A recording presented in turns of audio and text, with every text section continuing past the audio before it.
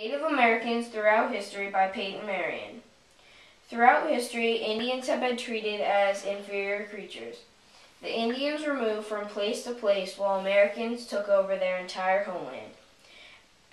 As this continued, the Indians were put in the worst land. This blue line represents the original 13 colonies.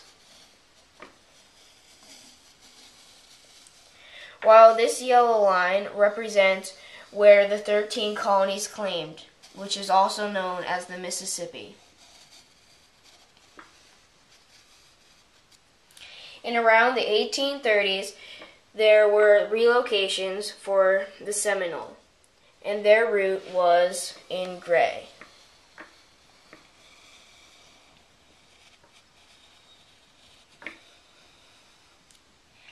And the relocation for the Cherokee and the Creek were here. The Creek relocation was in green.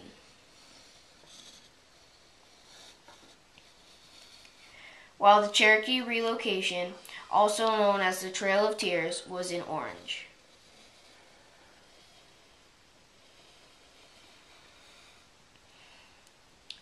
The Chickasaw and the Choctaw relocation are here. The Choctaw relocation is in brown, while the Chickasaw relocation is in blue.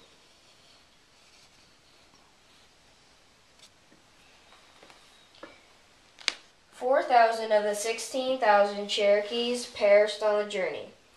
The Cherokees were known as the most civilized tribe of all of the Indians. However, the Indians were judged by their culture, and since they did not have a huge modern society, uh, the Americans said that the Indians could only have a, the amount of land that they could cultivate.